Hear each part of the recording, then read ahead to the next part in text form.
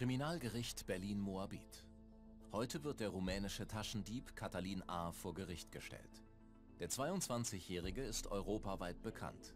Er wurde bereits in Spanien, Tschechien und Rumänien wegen Taschendiebstahls verurteilt. Der Rumäne ist Teil einer Gruppierung, die mehrere Monate lang in Berlin Reisende an Bahnhöfen bestohlen hat. Die Bundespolizei überführte sie mit Hilfe von Videoüberwachungskameras. Katalin A. und seinen 43 Mittätern konnten 197 Taten zugeordnet werden. Die Beute sechsstellig. An mindestens 27 Taschendiebstählen war der Beschuldigte beteiligt. Nach knapp zwei Stunden das Urteil. Zwei Jahre und sechs Monate Haft wegen gemeinschaftlichem und gewerblichen Diebstahl. Katalin A. verlässt sofort das Land. Sollte er jemals wieder nach Deutschland kommen, würde die Strafe vollzogen.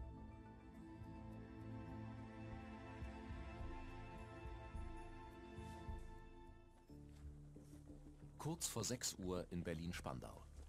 In der Stille des Morgens rückt ein Einsatzzug der Bundespolizei aus. Das Ziel ist eine Erstaufnahmeeinrichtung für Flüchtlinge. Hier vermuten die Beamten einen gesuchten Taschendieb. Um diese Uhrzeit ist die Wahrscheinlichkeit am größten, den Mann anzutreffen. Gegen den 24-Jährigen aus dem Kosovo wurde Haftbefehl erlassen. Gemeinsam mit drei weiteren Tätern soll er zahlreiche Taschendiebstähle an Berliner Bahnhöfen begangen haben. Gemeldet ist er hier, lebt in einem Zehn-Mann-Zimmer, bis sein Asylverfahren abgeschlossen ist. Geplant wird die Aktion von der Ermittlungsgruppe Tasche, spezialisierte Fahnder der Bundespolizei. Wir haben insgesamt vier Haftbefehle. Ähm, einen Haftbefehl erwarten wir hier in diesem Asylantenheim, im Objekt 1, was wir durchsuchen. Und ähm, bei dem zweiten Objekt handelt es sich um die Adresse, wo einer von unseren Haftbefehlen wohnhaft ist, der sich aber gegenwärtig bereits in Haft befindet.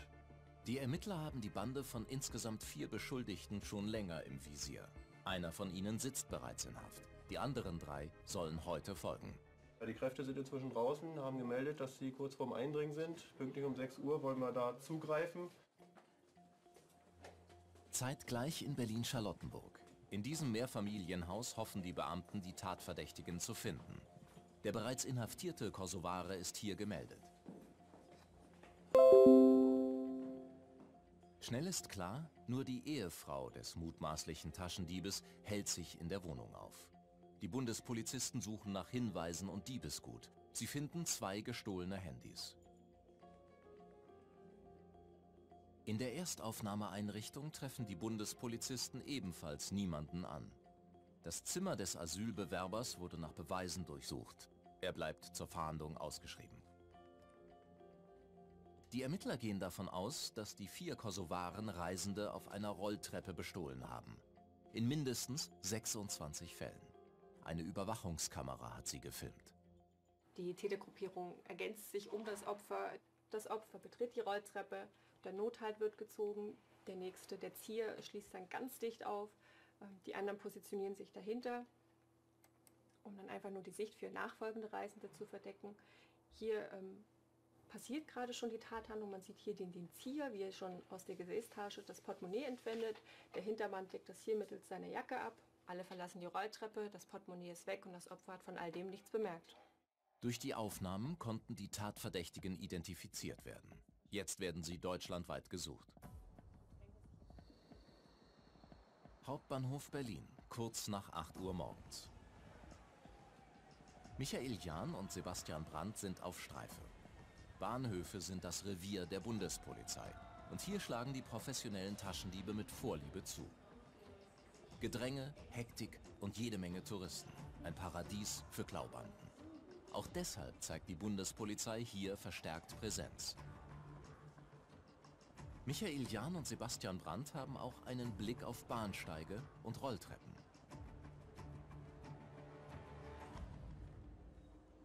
Eine Riesengruppe betagter Personen, Rentner sage ich mal, äh, und sind ja auch gern äh, Ziele von Taschendieben.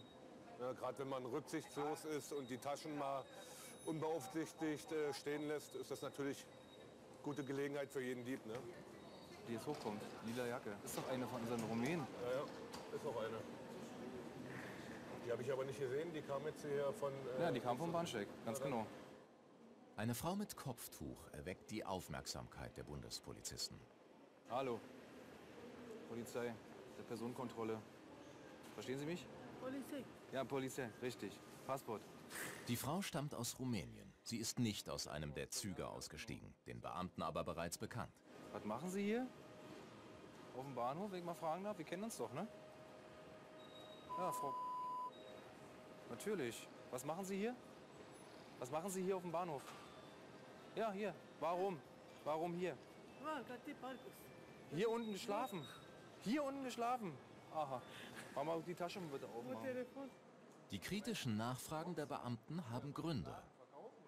Weil die halt sehr oft hier ist, also ist ja schon jetzt auch vom Gesicht her bekannt. Also die Tatsache, dass sie jetzt hier geäußert hat, sie möge hier schlafen, ist ja sehr unwahrscheinlich. Aber die ist schon eher zu den Klientel äh, zu Orten, die möglicherweise ja, Situationen ausnutzen, wo man durchaus mal zugreifen könnte.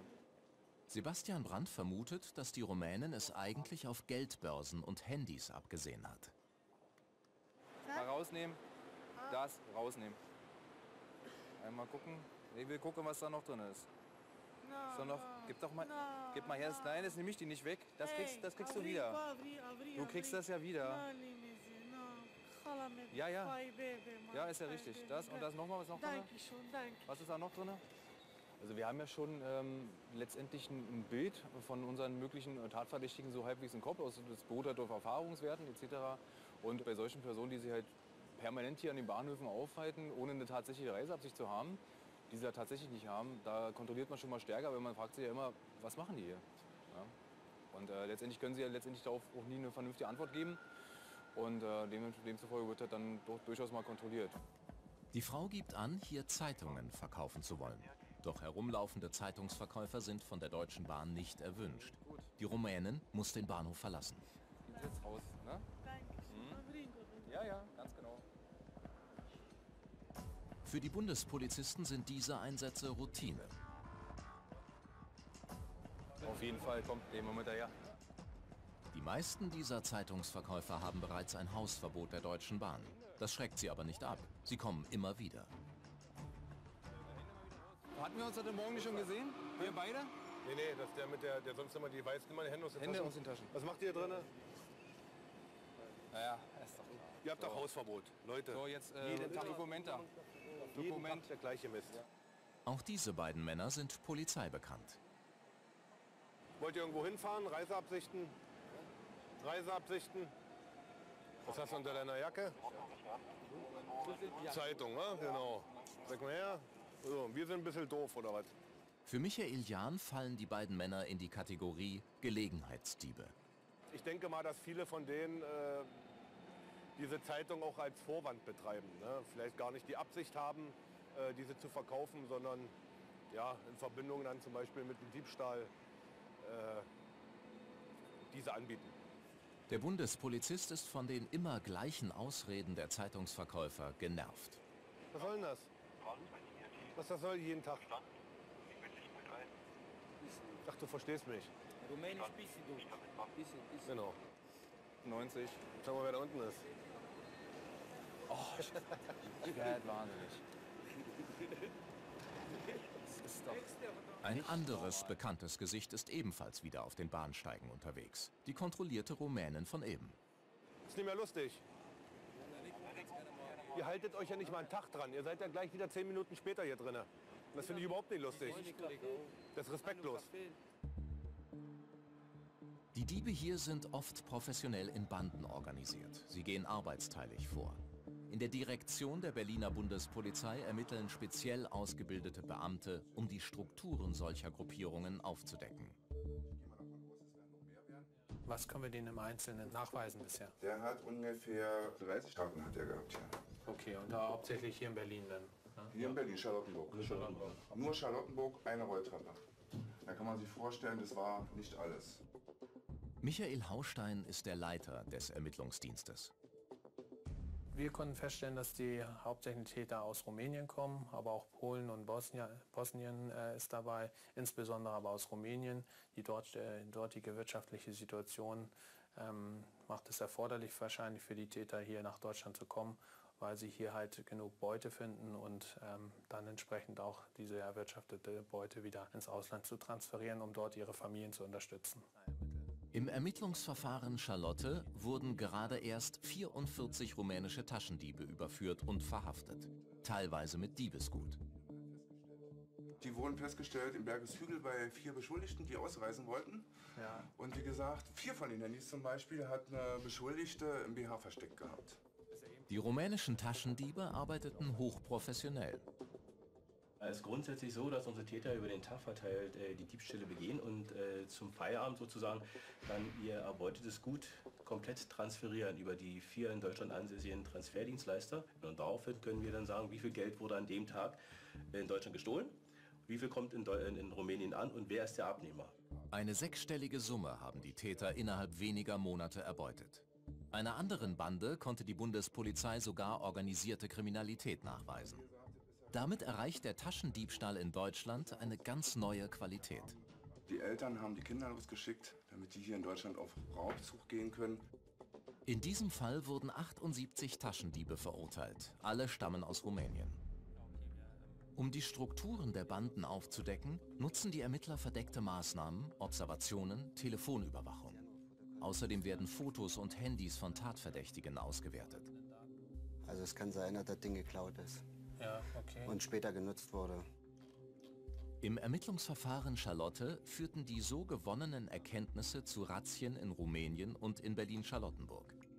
Zwei Bars und ein Hotel wurden durchsucht, Ausweisdokumente, Portemonnaies und Quittungen sichergestellt. Umfangreiches Beweismaterial, um alle 44 Taschendiebe der Gruppe zu überführen. Nach eineinhalb Jahren Ermittlungsarbeit. In den Ermittlungsverfahren, die wir durchgeführt haben, konnten wir erkennen, dass es eine klare Hierarchie gibt, also aus dem Ausland her organisiert wird. Dort gibt es Personen, die genaue Anweisungen geben, die Personen, also die sogenannten Diebe, auch nach Deutschland schicken oder ins benachbarte Ausland, hier dann diese Taten durchführen, die sie in ihren Heimatländern zuvor trainiert haben. Und es werden sogenannte Statthalter auch eingesetzt, die für bestimmte Örtlichkeiten, für bestimmte äh, Städte auch verantwortlich sind. Die Ermittlungsarbeit der Bundespolizei gestaltet sich schwierig. Oft setzten sich die Taschendiebe über Nacht ins Ausland ab. Per europäischem Haftbefehl wird dann nach ihnen gefahndet. Flughafen Berlin-Tegel. Sogenannte Personenbegleiter geleiten einen mutmaßlichen Taschendieb aus dem Flugzeug. Die Maschine kommt aus Bukarest. Der Rumäne ist einer der 44 gesuchten Taschendiebe aus dem Ermittlungsverfahren Charlotte. Die Bundespolizei arbeitet im Bereich Taschendiebstahl international mit anderen Behörden zusammen. Der Mann wurde vor wenigen Wochen in Rumänien festgenommen und nun nach Deutschland überführt. Hier soll ihm der Prozess gemacht werden. Sie sind festgenommen. Ja, es wurde angeordnet bei Ihnen aufgrund vorhergegangener Straftaten, in besonders schweren Fällen Bandendiebstahl. Dem Mann werden fünf Fälle des gewerbsmäßigen Taschendiebstahls vorgeworfen. Mindestens sechs Monate Haft drohen ihm für jede vollendete Tat. Verstanden? Ja, alles klar. Sie müssen signieren, unterschreiben, dass Sie das erhalten haben in Ihrer Sprache. Zurück in der Bundespolizeidirektion. Die Ermittler sind auf dem Weg zur Kriminaltechnik. Das wichtigste Beweisinstrument der Bundespolizei sind Aufnahmen von Überwachungskameras.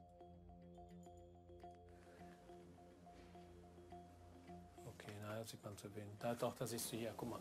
Er geht ran. Zack, Ja. mit der rechten Hand ist er drin. Und da zieht er jetzt Da Siehst du das? Und raus. geht sofort hinten Ja, ja, an genau. die Tatwaffe ran. Ja, das ist ja. eine Veränderung. Ziehen ist Fachjargon für den Diebstahl. Noch nicht alle Tatverdächtigen aus dem Ermittlungsverfahren Charlotte sind verurteilt. Die Videos helfen der Bundespolizei dabei, die Gesichter von Taschendieben zu erkennen und ihre ganz speziellen Tricks zu analysieren. Ja, hier. Guck. Halt, Ja, ja, genau, genau. Linker Arm, linke Genau. Hand am Nothalt. Da sind sie alle gezwungen zu laufen. Ja. Und er er geht zieht. gleich hinten ran an sie. Dreht sich nochmal zurück. Die Geschädigte merkt während des Laufens nicht, dass sich der Dieb an ihrer Tasche zu schaffen macht. Hat einen Rucksack hat er auch gemacht. Hat, also hast gesehen? Auch die arbeitsteilige Vorgehensweise lässt sich mit den Videoaufnahmen nachweisen. Der sogenannte Abdecker steht Schmiere und verwickelt nachfolgende Personen in Gespräche, damit sie den Diebstahl nicht sehen. Oder er steht auf der Rolltreppe hinter dem sogenannten Zieher und verdeckt nachfolgenden Reisenden die Sicht. Die Täter wollen natürlich so unauffällig wie möglich sein. Dementsprechend kleiden sie sich auch. Wenn es Sommer ist, kleiden sie sich sommerlich, im Winter dann eben auch unauffällig, dass sie eigentlich in den normalen Reisefluss gehen können und auch unauffällig agieren können. Entsprechend, wenn sie auffallen, also es kommt auch vor, dass bei Versuchshandlungen dann der Täter auffällt, wie er ans Opfer rangeht, dann wird natürlich versucht, die Sache zu schlichten. Man versucht, dass so ein zufälliger Rempler gewesen ist oder ähnlich. Oder, wie in diesem Fall, hilft der Taschendieb sogar dabei, das Fahrrad seines Opfers mit nach oben zu tragen, damit der entgegenkommende Passant nicht misstrauisch wird. Die Bundespolizeidirektion Berlin schützt in den Ländern Berlin und Brandenburg 261 Bahnhöfe. Auf fast 1300 Kameras haben sie Zugriff. Trotzdem geht es nicht ohne eine sichtbare Polizeipräsenz. Das Ziel ist, Taschendiebstähle schon zu verhindern, bevor sie passieren. Auf den Bahnsteigen sind zahlreiche rumänische Zeitungsverkäufer unterwegs, obwohl sie Hausverbot haben. Einem bekannten Gesicht begegnen Michael Jahn und Sebastian Brandt immer wieder. Einer Rumänin mit violettem Kopftuch. Weil du verkaufst doch gar keine Zeit. Wo sind die Zeitungen? Du hast Hausverbot, ja genau. Und das hat ja, das hat ja einen Grund. Die Erfahrung zeigt, dass die Zeitungen auch für sogenannte Abdecktaten benutzt werden. Während die Zeitung gezeigt wird, greifen die Diebe darunter in die Taschen der Reisenden. Deswegen verstehen die Bundespolizisten in diesem Fall keinen Spaß. Naja, haben wir jetzt schon äh, viermal wieder angetroffen jetzt hier auf dem Hauptbahnhof. Trotz Hausverbot, dreimal ja bereits schon äh, des Bahnhofs verwiesen. Mit Nachdruck wird die rumänische Frau aus dem Bahnhof begleitet. Ihr droht eine Anzeige wegen Hausfriedensbruch. Sie haben Ihr Hausverbot, da brauchen wir nicht diskutieren. Am Berliner Hauptbahnhof sind täglich rund 300.000 Reisende unterwegs. Viele merken erst in einer anderen Stadt, dass sie am Bahnhof bestohlen wurden. In der Bundespolizeidirektion laufen die Vorbereitungen für eine Tagfahndung. Schwerpunktmäßig werden wir uns heute mit den Fahnen im Bereich des Hauptbahnhofes bewegen. Der letzte spektakuläre Fall war eine Einstiegstat letzte Woche, äh, wo einem Geschädigten 5000 Euro und 2000 britische Pfund abgenommen wurden während des Einschlägevorganges. Äh, unser Täterklientel, wisst ihr selber, größtenteils äh, Serben bzw. polnische Täter in dem Bereich. Kurz darauf im Hauptbahnhof. Wir begleiten den Fahnder Sven Lichtenberg mit versteckten Kameras. Der Bundespolizist gehört seit fast zehn Jahren zur Ermittlungsgruppe Tasche. Er hat einen besonderen Blick für potenzielle Diebe. Guckt man erstmal aufs Äußere, ne? Erscheinungsbild, wo kommt er her, welche Herkunftsländer sind es, mitgeführten Sachen, Umhängetaschen, die leer erscheinen, über den Arm gehängte Jacken, also sind so, so Zeichen, wo man sagt, okay, ja, da macht es jetzt Klick, da gehe ich mal hinterher. Oder auch die Verhaltensweise. An einen Ort, mit jemandem treffen, wieder auseinandergehen, wieder treffen, auf dem Bahnsteig hoch, vom Bahnsteig runter. Gemeinsam mit sechs weiteren Fahndern ist Sven Lichtenberg in Zivil im Bahnhofsgebäude unterwegs. Auf Fernzüge hat er heute einen besonderen Blick. Kurz vor der Abfahrt will er sich am Zug positionieren, den Einstieg beobachten.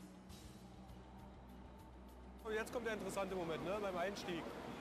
Beim Einstieg wird jetzt hier die Dränge entstehen.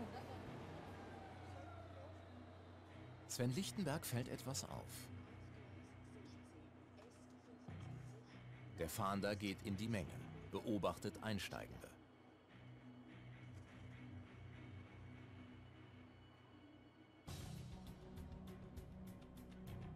Falscher Alarm.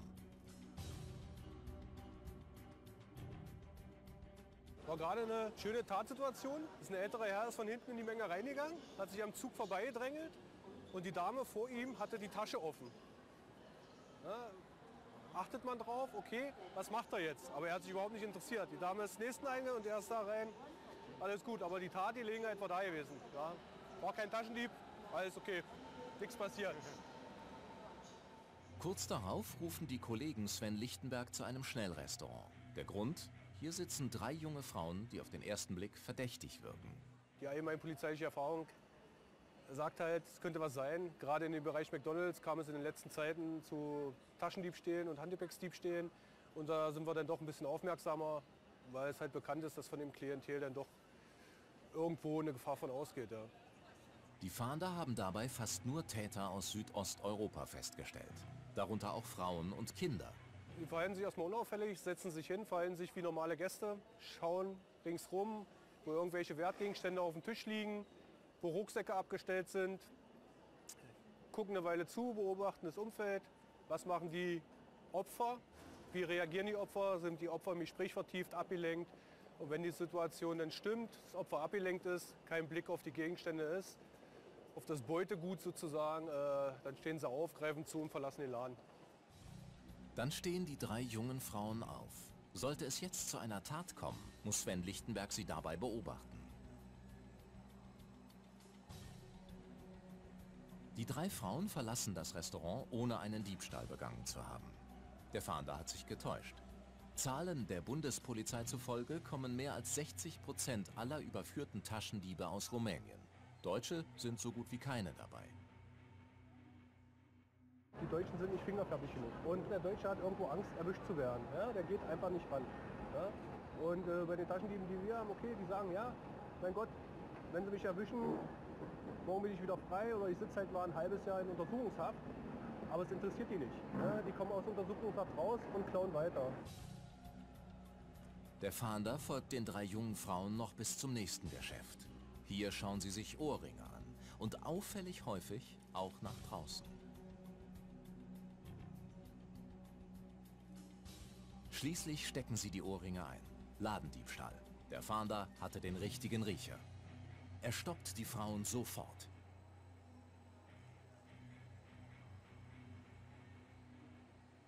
Bei der Durchsuchung entdeckt der Fahnder mehrere gestohlene Gegenstände. Die jungen Frauen sind 15, 17 und 24 Jahre alt. Eine ist bereits wegen Diebstahls Polizei bekannt. Alle drei kommen aus Rumänien. Die machen es nicht zum ersten Mal. Das hat man auch in der Handlungsweise gesehen. Die haben sich kurz umgeschaut, haben geguckt, was die Kassiererin macht, haben die Sachen eingesteckt. Sie haben halt klebrige Finger, ja. Eingesteckt, mitgenommen, fertig. Die drei haben einen festen Wohnsitz in Berlin. Die Bundespolizisten leiten ein Ermittlungsverfahren ein und nehmen ihre Fingerabdrücke. Dann müssen sie die jungen Frauen wieder gehen lassen. Michael Jahn und Sebastian Brandt laufen zeitgleich im Hauptbahnhof Streife. Als die Bundespolizisten an einer Rolltreppe stehen, gibt diese plötzlich Alarm. Jemand hat den Notausknopf betätigt. Die Bundespolizisten folgen zwei Männern, die zum selben Zeitpunkt auf der Rolltreppe waren. Gehst du andere Seite rein, Brandy? Michael, geh nach vorne. Geh hinten rein. Einer von ihnen hatte eine Brieftasche in der Hand. Michael Jahn stellt die beiden Männer im Supermarkt. Hallo, Sie beide folgen mir mal nach draußen, bitte. Okay, mal. Ich hätte gerne mal die Ausweise gesehen. Haben Sie Notstopp gedrückt auf der Rolltreppe? Nein. Doch. Nein.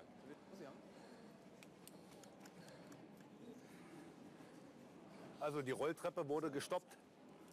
Ich nicht. Und Sie waren auf Höhe des Notstopps, wo ich nachgeschaut habe.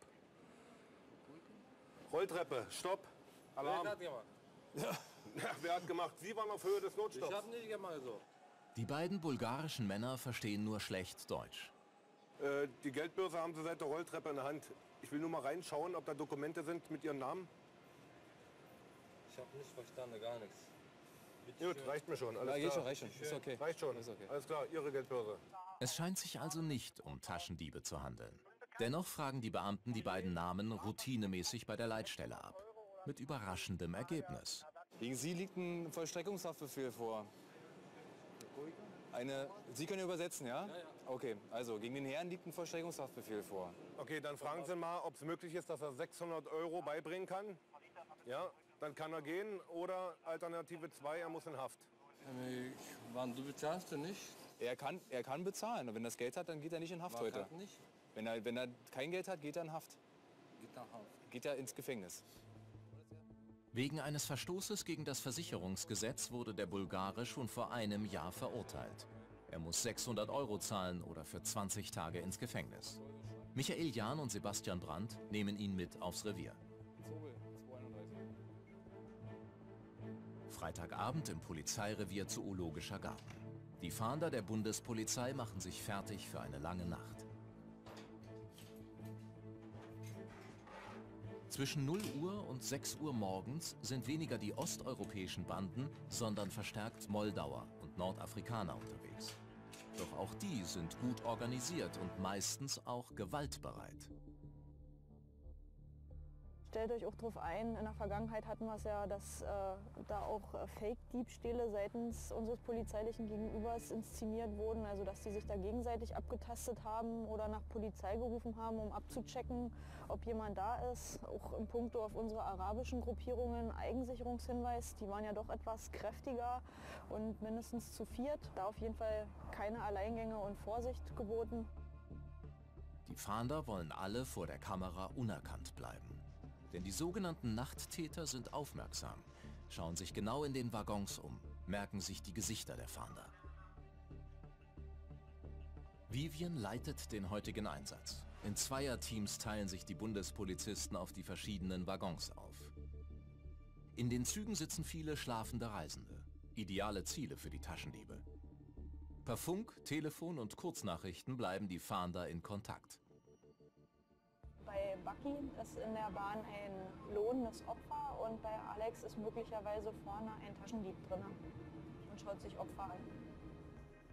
Die Fahnder sitzen in den Zügen, beobachten und verhalten sich wie normale Passagiere. Alles andere macht professionelle Taschendiebe stutzig.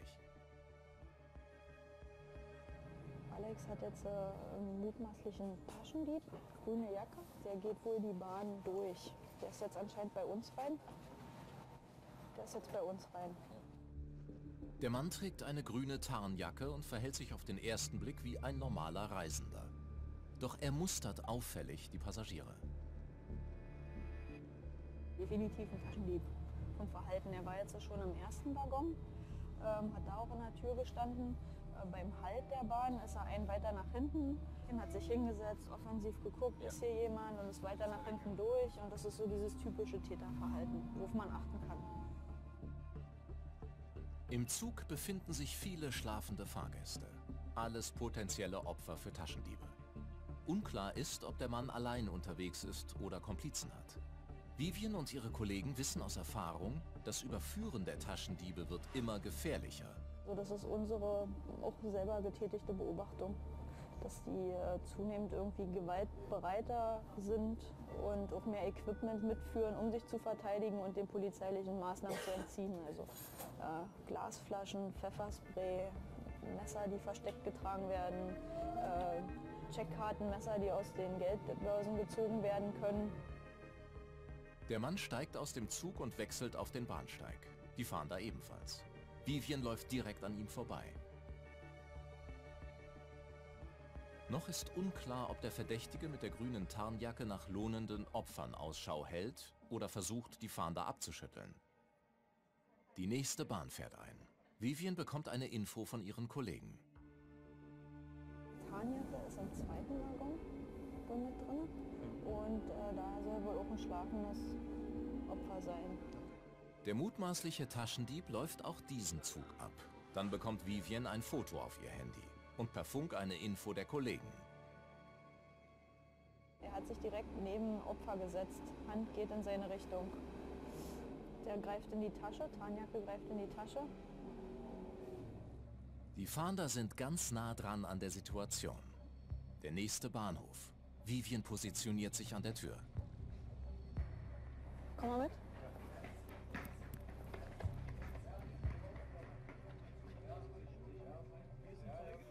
Die Fahnder haben beobachtet, wie der Mann in die Tasche des schlafenden Reisenden gegriffen hat.